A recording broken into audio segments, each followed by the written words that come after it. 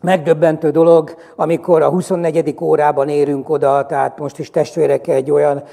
hölgyhöz járnak, aki ugye tolókocsihoz kötött, és képzeld el, hogy azok, képzeljétek el, hogy azok, akik meg voltak ezzel bízva, és pénzt is kaptak érte, azok ott hagyták napokra, tehát nem tudott kiszállni a tolókocsiból, nem tudott vécére elmenni, nem tudott, nem tudott. Tehát olyan állapotok vannak, és, és higgyétek el, ne várjátok, ez egy, ez egy régi rossz berögződés, különösen magyaroknak, hogy ma jön az önkormányzat, meg ma jön a hivatal és elintézi. Drága testvéreim, itt semmilyen önkormányzat és semmilyen hivatal nem érkezik. Ha te nem veszel kijelentést az Úrtól, és ezért hívom fel a filepi kereszténységre, az helyett, hogy itt őrülködtök keresztények, és azt próbáljátok kitalálni, hogy mikor jön vissza az Úr, meg ilyen szuper szellemi magaslatokat, az helyett abba kéne kijelentést venni, hogy esetleg kire kell rákopogni, mert vannak ilyen 24 órás helyzetek, amikor ha nem érsz oda, akkor komoly tragédiák történhetnek. És higgyétek el, hogy a Szentlélek vezetését erre kéne használni, és nem arra, hogy a kamerák előtt milyen gyógyulások történnek, hanem a Szentlélek ezt is megmutatja, hogy melyikünknek a lakhelyén kinek hová kell odaérjen,